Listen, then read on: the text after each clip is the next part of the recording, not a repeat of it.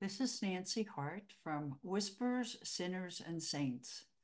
And I was supposed to be on a Zoom today, but the something went wrong. And instead of being able to Zoom something, I thought, well, I'm not going to waste my time. The topic I was supposed to discuss was whispers.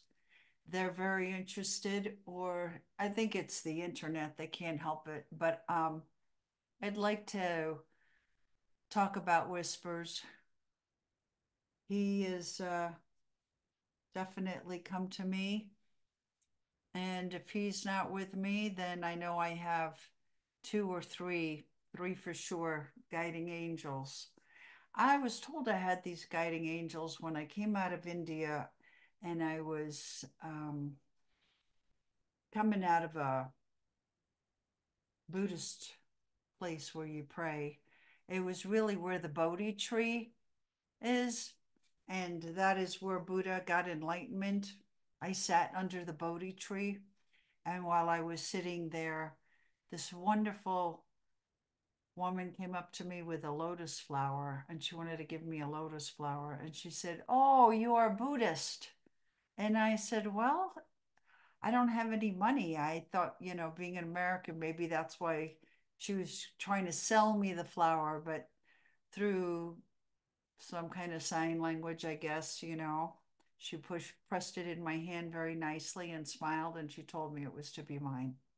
So I I went into a cave that they had there and uh, there was some kind of prayer going on and I just mimicked whatever they were doing because I uh, I just was overpowered by the beauty of of being a part of something so beautiful. I hope I didn't intrude on what this lady was doing and somebody was guiding her on what to do and I was just behind her postulating to the Buddha and whatever else they were doing. I didn't understand the words that they were saying, but they were praying.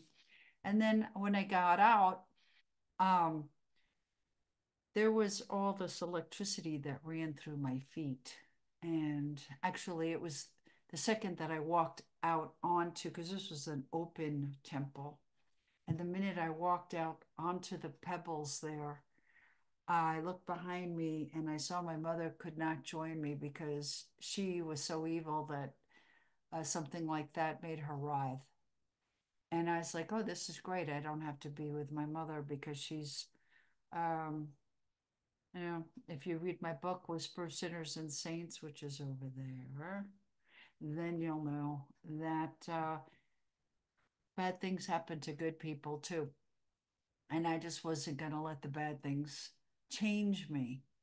So I stepped onto the rocks. It, and as I did, I saw electricity all throughout. I mean, this is a very big, wide, vast space. I've I've only seen something like that once before, and I read about that in the second book. That's from when my grandmother died.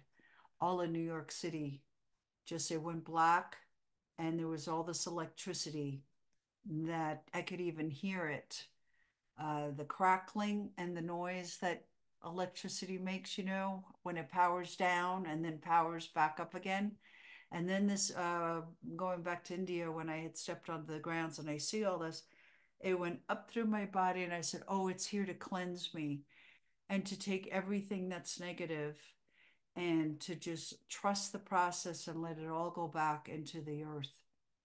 And the earth is uh, Earth Mother. Earth Mother knows what to do with all my pain. And I thought, wow, this is really magnificent. So at the end um, of that, then I sat under the Bodhi tree. The woman gave me the flower, and I went into the cave. I did some praying. Then, after that, there were all these candles that I could light. And I just was really overjoyed by the bliss. There was something just beautiful, and I was probably sniffling and a little bit moved, right? So then I get out, and uh, my mother is there's ships about to leave, so we got a kind of on a time schedule, and she's definitely not going to step over that threshold, though. She felt that there was such a strong power. She was not going to step over that threshold. And I, I said, okay, you just go to the bus. I'll meet you at the bus. The bus takes you to the, you know, the boat. And I, I uh, left, walked out of where the rocks were. And then I saw three beings and it was strange because they kind of looked like Mama Cass, which is really not not like nothing much, okay?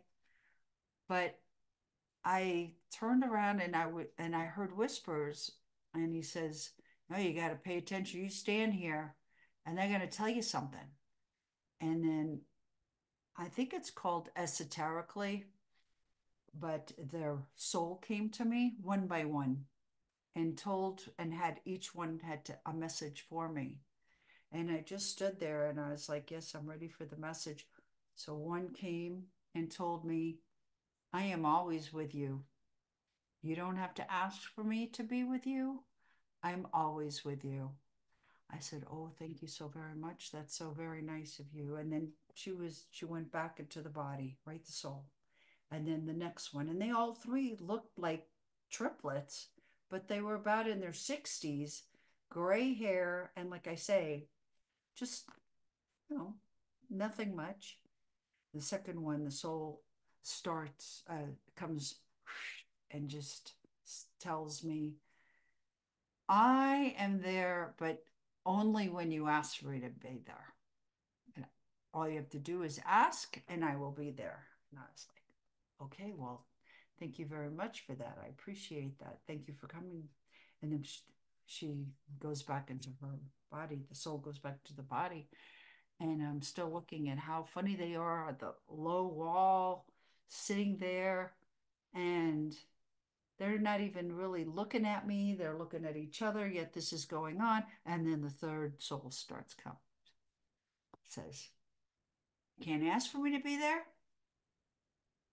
And I'm not always with you, but I'm with you when you need me to be there with you.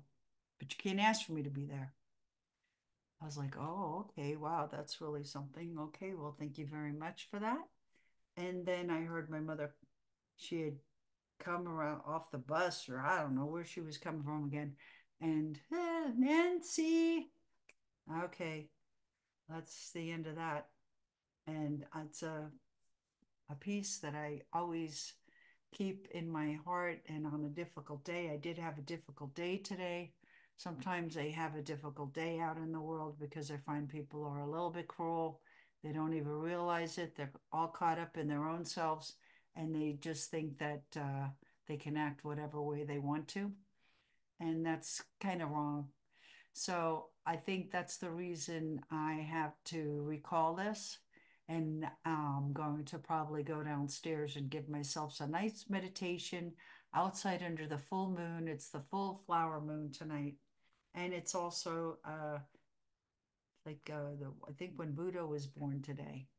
So it's a magical day, and the universe is telling me I need to introspect, not to look for happiness or for anything from outside and the other people.